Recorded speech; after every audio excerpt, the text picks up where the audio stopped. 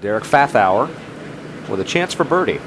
Well, you would certainly think that this putt might try to move a little bit to his left once it uh, gets onto the putting surface and starts losing its speed. Yeah, there's the ridge, and there's probably the slope that Billy was talking about.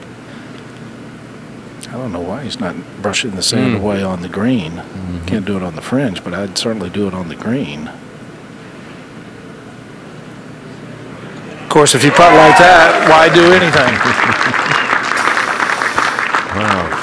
Get him to eight under, one behind Zach Blair.